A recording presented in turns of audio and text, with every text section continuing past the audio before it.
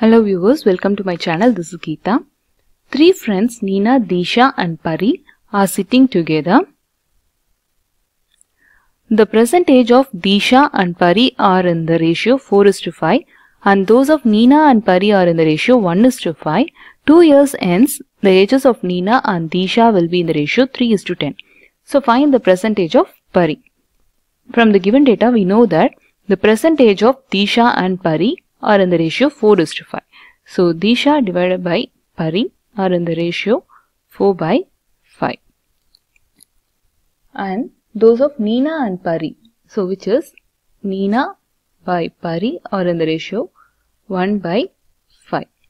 And 2 years ends, the ages of Neena and Disha, which means ends means plus, so Neena plus 2 divided by Disha plus 2 will be 3 by 10. So find the percentage of Pari. So from the first equation, we can find that D equals 4P by 5. Cross multiplication. And from the second equation, we know that N Neena equals P by 5.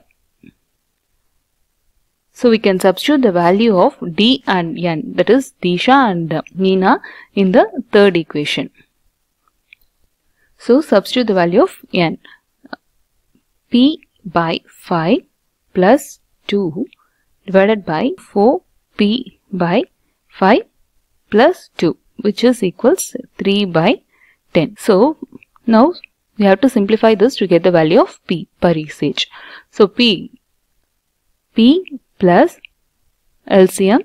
So 10 by 5 divided by so 2 by 1 again it is 5 4p plus 5 2 times is 10 equals 3 by 10. So this can be simplified as p plus 10 divided by 5 this can be write, written as reciprocal. So 5 by 4p plus 10 equals 3 by 10. So 5 gets cancelled.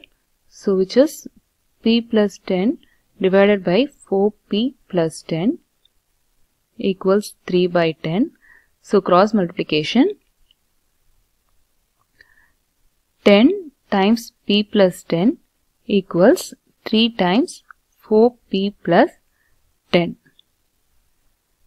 So, which is 10p plus 100 equals 3 4 times is 12p plus 3 10 times is 30. 100 minus 30 equals 12p minus 10p. So, 70 equals 2p. So, p equals 35. So, the percentage of Pari is 35.